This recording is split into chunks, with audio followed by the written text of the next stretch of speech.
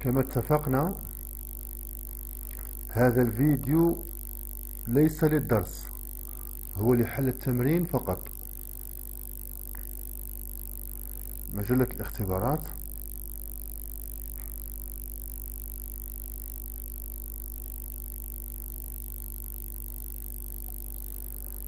التمرين خمسة وثلاثون.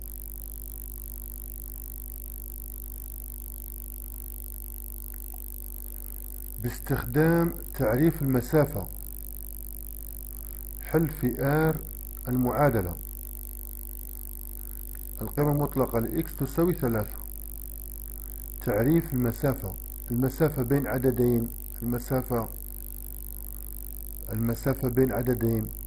تعريفها. هو هذا هذا تعريف المسافة. المسافة بين A و B هي القيمة المطلقة ل A ناقص B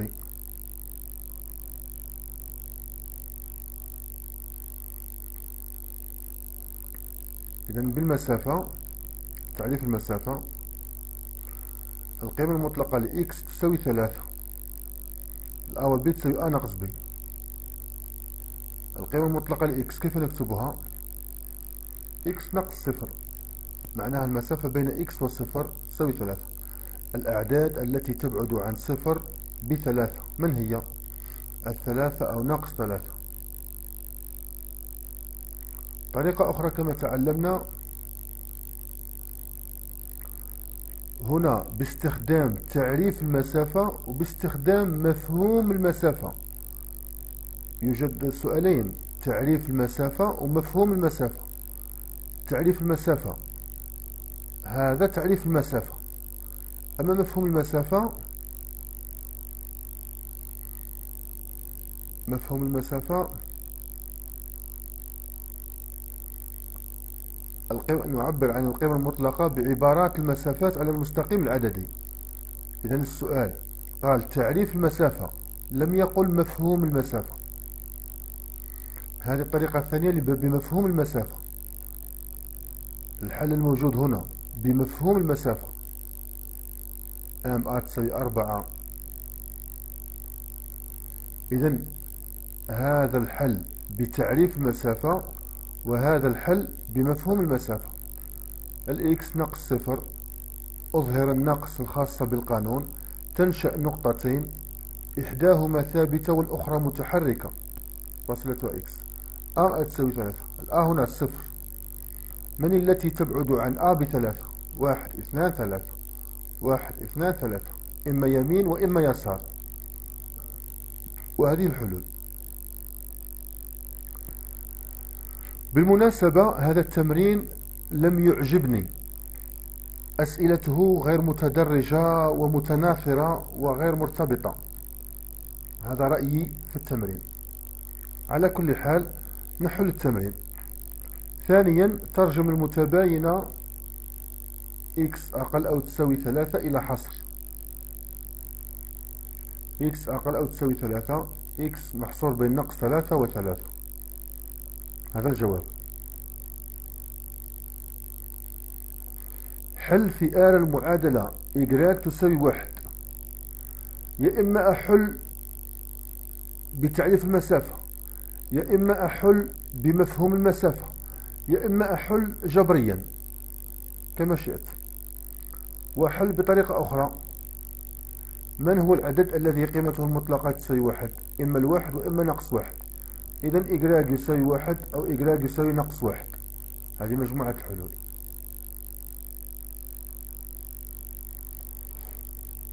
ترجم المتباينة هذه إلى حصر. نفس السؤال مكرر هنا. هنا كانت ثلاثة هنا أصبحت واحد. هنا إجراج محصور بين واحد ونقص واحد. إجراج أقل تساوي واحد إجراج محصور بين نقص واحد وواحد. أوجد حصر للعدد الحقيقي x ناقص إثنين إجراج هنا غير واضح السؤال وقصده انطلاقا من حصر إجراج الموجود في السؤال الرابع وانطلاقا من حصر x الموجود في السؤال الثاني. إذا حصر هذا العدد x محصور هكذا من الجواب الثاني. من الجواب الرابع موجود حصر إجراج إجراك غير ما نبحث عنه. لا نبحث عن إجراك. نبحث عن حصر ناقص اثنين إجراك. نضرب في ناقص اثنين تتغير اتجاه المتراجحة تصبح اثنان ناقص اثنان. ثم أكتبها بهذا الشكل. أصبح عندي حصر لإكس وحصر لنقص اثنين إجراك. نجمع طرفا لطرف فأحصل على هذا الحصر.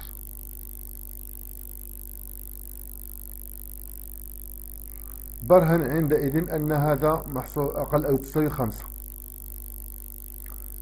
حسب القانون أو النظرية إذا كان ألفا أقل أو تساوي آر يكافئ أن ألفا ما داخل القيمة المطلقة محصور بين هذا العدد ومعاكسه.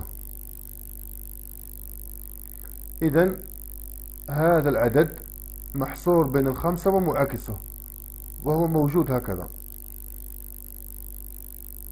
من هذه الكتابة أحصل على هذه الكتابة مباشرة.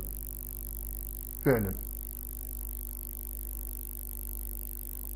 استنتج حلول المتراجحة التالية داخل آر استنتج الحلول. هذه المتراجحة متطابقة شهيرة. عدد موجب. أستطيع التخلص من رمز القيمة المطلقة. جذر عدد مربع. تساوي القيمة المطلقة لذلك العدد. جذر عدد مربع. تساوي القيمة المطلقة لذلك العدد. نطبق الخاصية هذه. صفحة 32 القيمة المطلقة أستغني عليها ثم أتخلص من الجذر بهذه الطريقة. وعدد أقل أو تساوي عدد. هذا أطبق عليه كما كنا نقول منذ قليل هنا. أطبق عليه هذا السطر. ما داخل القيمة المطلقة محصور بين هذا العدد ونظيره. لكي أعزل x أضيف اثنان لكل الأطراف. أحسب أحصل على هكذا. X محصور بين ناقص ثلاثة وسبعة. هذا الجواب.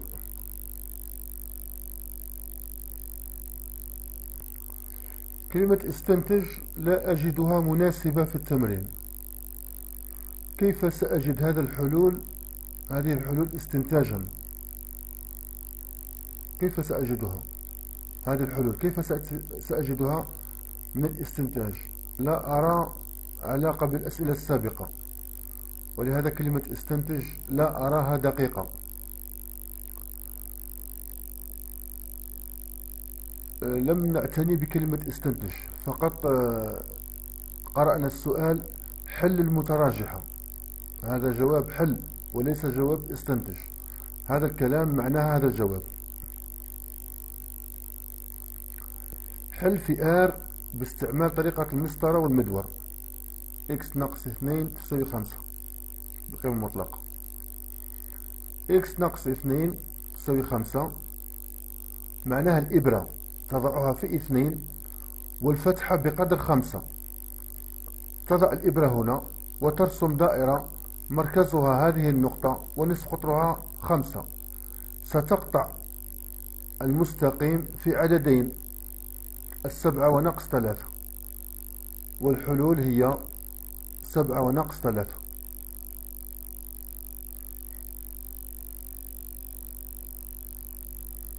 إذا لو نحضر المسطرة الإبرة في اثنان والقلم هنا.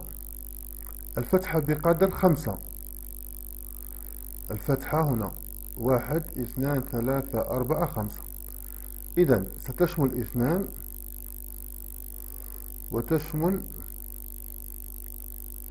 الناقص ثلاثة. إذا هذه خمسة وهذه خمسة. إذا الحلول هي سبعة وناقص ثلاثة.